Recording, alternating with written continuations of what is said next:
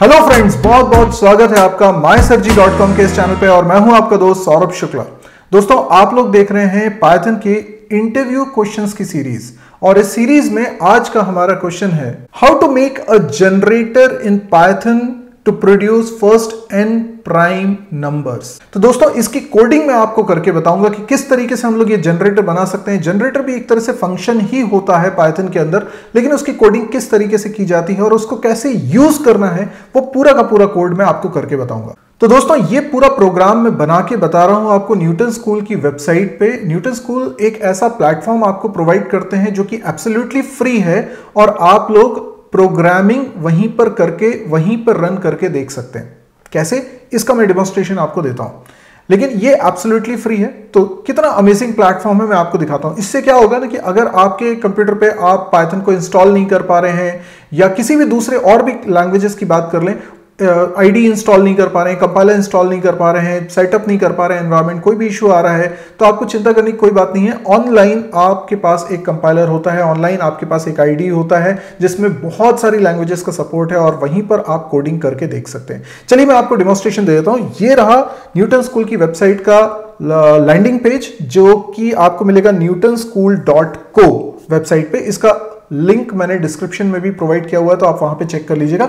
Simply आपको यहाँ पे साइन अप करना है, एक बार आपको अकाउंट बनाना जो कि एब्सोल्युटली फ्री है। एक बार आपने अकाउंट बना लिया, उसके बाद फिर आपको अपना डैशबोर्ड दिखाई देने लगता है, जो कि कुछ इस तरीके से है, जैसा मेरा डैशबोर्ड है। इसमें मैंने क्रिएट करके रखा है एल्गोरिथमिक प्लेग्राउंड देखिए, आपको आपके प्रोफ़ाइल पिक्चर के नीचे दो ऑप्शंस दिखाई दे रहे होते हैं। एक दिखाई दे रहा होता है ट्रैक्स और एक दिखाई दे रहा होता है प्लेग्राउंड तो आप प्लेग्राउंड को सिलेक्ट कर लीजिए और उसके बाद फिर यहाँ पर मैंने एल्गोरिथम प्लेग्राउंड में क्रिएट बटन पे क्लिक करके एक प्लेग्राउंड क्रिएट कर लिया। बेसिकली ये एक प्लेग्राउंड है जिसका मैंने नाम रखा है पाइथन इंटरव्यू क्वेश्चंस और अब मैं इसको ओपन करने जा रहा हूँ तो ये ओपन एडिटर ठीक है? तो अब ये जो स्क्रीन आ गई है, यही है आपका आईडी यहीं पर आप लेफ़्ट साइड में जो स्क्रीन देख रहे हैं, यहाँ पे आप अपना प्रोग्राम लिख सकते हैं, ऊपर आप इसको रन कर सकते हैं और आउटपुट आपको यहीं पर कंसोल पर दिखाई दे जाएगा। तो चलिए इसकी कोडिंग हम लोग करते हैं। सबसे पहले मेरे को क्या बनाना है? मेरे को एक जनरेटर बनाना है। और जनरेटर क्या होता है? इट्स अ फ़ंक्शन तो मैं यहाँ पर डिफाइन कर रहा हूँ और डिफाइन करते वक्त इसका नाम लिख लेता हूँ प्राइम जनरेटर प्राइम जनरेटर ये प्राइम नंबर्स जनरेट करेगा और कितने प्राइम नंबर्स जनरेट करेगा उसके लिए मैंने एक एन नाम का वेरिएबल ले लेता हूँ। एन नंबर्स ये जनरेट करने वाला है।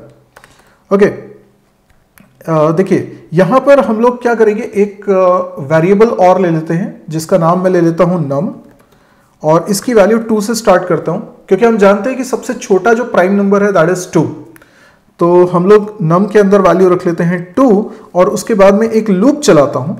जो तब तक चलेगा जब तक n की वैल्यू ज़ीरो ना हो जाए। हम जानते हैं कि ज़ीरो को फॉल्स ट्रीट किया जाता है तो जब तक n की वैल्यू ज़ीरो नहीं हो जाएगी, तब तक ये चलेगा। तो अगर आप 10 प्राइम नंबर्स जनरेट कराना चाहते हैं तो n की वैल्यू 10 होगी। तो यहाँ पर वाइल 10 तो n क्या है? नॉन ज़ीरो नंबर है, इसलिए वो कंडीशन ट्रू होने वाली है। नॉन ज़ीरो वैल्यू मतलब ट्रू ज़ीरो मतलब फॉल्स तो ये वाइल की कंडीशन शुरुआत में ट्रू होने वाली है। अब इसके बाद इसके अंदर आते हैं और एक इफ़ कंडीशन हम लिखते हैं इज़ प्राइम मैं यहाँ पर एक और फ़ंक्शन बनाऊँगा जिसको यहाँ पे यूटिलाइज करने वाला हूँ।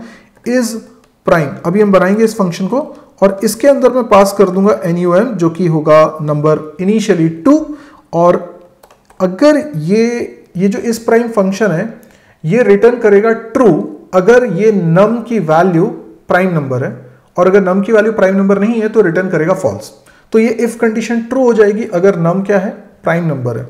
तो यहाँ पर मैं ईल्ड को यूज़ करूँगा। हम जानते हैं जनरेटर में हमें ईल्ड को यूज़ करना होता है। ये बेसिकली वैल्यू रिटर्न ही कर रहा है, लेकिन ये फ़ंक्शन को एंड नहीं करता है, ये फ़ंक्शन को पॉज करता है। सो so दैट कि फ़ंक्शन वापस से इसी लाइन के बाद से रिज्यूम हो सके, अगर दोबारा से कॉल होता है तो।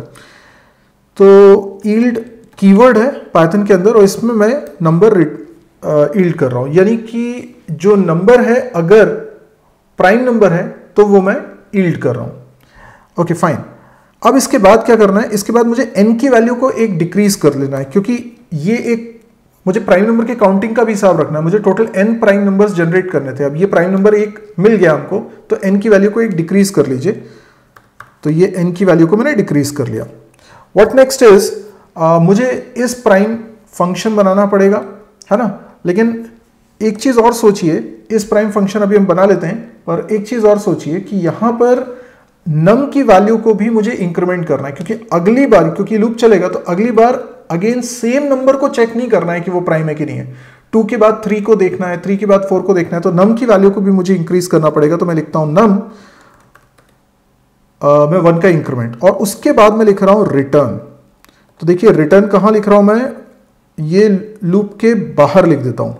रिटर्न रिटर्न से क्या होगा? ये फ़ंक्शन एंड हो जाएगा। तो जब ये लूप एंड होगा, जब n की वैल्यू ज़ीरो हो जाएगी मतलब सारे प्राइम नंबर्स जनरेट हो चुके हैं तो ये रिटर्न हो जाएगा और फ़ंक्शन एंड हो जाएगा। अच्छा अब मैं बात करता हूँ यहाँ पर एक और फ़ंक्शन की, जो कि हम बनाने जा रहे हैं, जिसका नाम रहेगा इस प्राइम और ये इसमें हम चेक करेंगे कि नंबर प्राइम है कि नहीं है। तो मैंने लिखा इज़ प्राइम और जो भी नंबर इसमें आएगा उसको मुझे चेक करना है कि वो प्राइम है कि नहीं है। सिंपल सा तरीका है। मैं एक फॉर लूप लगा लेता हूँ, जिसमें मैंने एक वेरिएबल ले लिया आई इन रेंज टू से लेकर नम तक। तो हम जानते हैं टू से लेकर नम माइनस वन तक ये नंबर्स प्रोड्यूस होंगे। और अब मैं चेक करता हूँ कि क्या नंबर को डिवाइड कर रहा है आई कंप्लीटली है ना? ये पैरेंथस लगाना ज़रूरी नहीं है, लगा भी देंगे तो कुछ गलत नहीं है। ओके और कोलन अब हम इफ़ की बॉडी में आ गए। अगर नंबर किसी से डिवाइड हो रहा है तो ये कंडीशन ट्रू हो गई। तो रिटर्न करवा दो फॉल्स क्योंकि अब वो प्राइम नंबर नहीं है। और अगर वो प्राइम नंबर होगा तो ये लूप पूरा चलेगा। किसी भी नंबर ने उसे डिवाइड नहीं करा होगा तो लूप एंड जब हो जाएगा तो रिटर्न करा दो ट्रू ठीक है? मैंने फॉल्स की स्पेलिंग में एफ़ स्मॉल लिखा हुआ है, इसको कैपिटल बनाना पड़ेगा। ये हमारा इस प्राइम कंप्लीट हो चुका है। अब हम लोग बात कर लेते हैं इसको कॉल करने की। मतलब अब इस प्रोग्राम को रन भी करना है ना तो ये फ़ंक्शंस को कॉल भी करना है। तो मैं बाहर कोड लिख रहा हूँ, एक स्क्रिप्ट लिख रहा हूँ। इसमें मैं एक वेरिएबल बनाता हूँ आईटी नाम का, और उसमें असाइन करता हूँ। ये जनरेटर फ़ंक्शन को हम कॉल कर लेते हैं। प्राइम जनरेटर ठीक है? और इसमें पास कर देता हूँ लेट से टेन ठीक है? तो दस प्राइम नंबर्स ये जनरेट कर देगा। और उसके बाद मैं लिख रहा हूँ फॉर एलिमेंट इन आईटी ठीक है? और प्रिंट करवा दूँगा ई e की वैल्यू को, और हर वैल्यू के बाद ये प्रिंट क्योंकि बाय डिफ़ॉल्ट लाइन चेंज करता है, मैं इसमें एंड सिंबल स्पेस कर देता हूँ, ठीक है? अब देखिए, ये पहले 10 प्राइम नंबर्स जनरेट करने वाला है। जनरेटर कैसे यूज़ होता है? हमने जनरेटर फ़ंक्शन को कॉल करा। जनरेटर फ़ंक्शन रिटर्न करता है इटरेटर ऑब्जेक्ट तो वो इटरेटर ऑब्जेक्ट है आईटी तो आईटी क्योंकि इटरेटर ऑब्जेक्ट है, इस पर हम फॉर लूप लगा सकते हैं।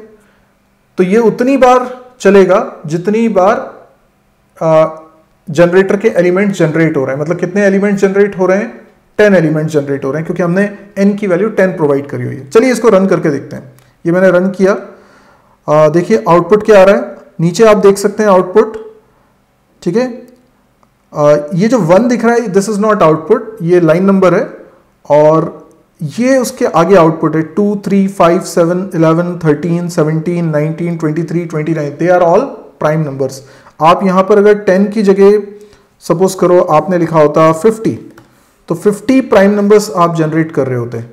तो देखिए अब फ़र्स्ट फिफ्टी प्राइम नंबर्स इसमें जनरेट हो जाएँगे। ये देखिए फ़र्स्ट फिफ्टी प्राइम नंबर्स हैं। हॉरिजॉन्टल स्क्रॉल हो रहा है। ये एक बार फिर मैं इसको रन करता हूँ। इस बार मैं 20 प्राइम नंबर्स जनरेट करना चाहता हूँ। ये मैंने रन किया।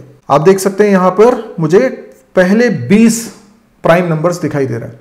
तो इस तरीके से हम जनरेटर बना सकते हैं। तो दोस्तों, है ना, बिल्कुल कूल प्लेटफॉर्म यहाँ पर आपको किसी भी आईडी की ज़रूरत नहीं पड़ती है। आप यहाँ पर बड़ी आसानी से कोडिंग कर सकते हैं। तो इसमें केवल पाइथन की नहीं, आप बहुत सारी प्रोग्रामिंग लैंग्वेजेस में कोडिंग कर सकते हैं और उसका कोड रन करके देख सकते हैं। तो ये बड़ा कूल एनवायरमेंट है और उन लोगों के लिए हेल्प हो गई, जो अपने कंप्यूटर पे प्लेट आईडी को सेटअप नहीं कर पा रहे हैं किसी भी पर्टिकुलर लैंग्वेज में तो यहाँ पर आके फ्री में वो कोडिंग कर सकते हैं। दोस्तों, अब मैं एक ज़रूरी अनाउंसमेंट कर रहा हूँ। ध्यान से इस चीज़ को सुन लीजिएगा। न्यूटन स्कूल जिनके साथ कोलैबोरेशन में हम ये पाइथन के इंटरव्यू क्वेश्चंस की सीरीज़ आप तक पहुँचा रहे हैं, वो लोग 15 अगस्त 2020 और 16 अगस्त 2020 यानी 15 और 16 अगस्त को एक इवेंट लेकर आ रहे हैं और इसमें आपको पार्टिसिपेट करना है। मैं आपको इस इवेंट के बारे में बताता हूँ कि इस इवेंट में माइक्रोसॉफ्ट गूगल फ्लिपकार्ट फेसबुक जैसी बड़ी बड़ी कंपनीज़ से लोग आ रहे हैं, जो आप सबको गाइड करेंगे कि किस तरीके से इन कंपनीज़ में एंट्री ली जाती है। ये लोग आपके क्वेश्चंस के आंसर भी देंगे। और दोस्तों, यही नहीं, यहाँ पर एक पायथन की वर्कशॉप भी कंडक्ट होने वाली है और साथ में एक कोडिंग कॉन्टेस्ट भी होने वाला है, जिसमें आप कैश प्राइज जीत सकते हैं और साथ में आपको मिलेंगे सर्टिफिकेट। मैं भी आपको इस इवेंट में दिखूँगा और सॉफ्टवेयर इंडस्ट्री के बारे में कुछ जानकारियाँ दूँगा। तो आज ही रजिस्ट्रेशन करें। रजिस्ट्रेशन लिंक इस वीडियो के डिस्क्रिप्शन सेक्शन में मौजूद है। तो अगर ये वीडियो पसंद आया है तो प्लीज़ इसको लाइक करिए। जितना ज़्यादा हो सकता है इसको शेयर करिए और अभी तक इस चैनल को सब्सक्राइब नहीं किया तो जल्दी से सब्सक्राइब कर लीजिए। आज के लिए इतना ही। Thank you goodbye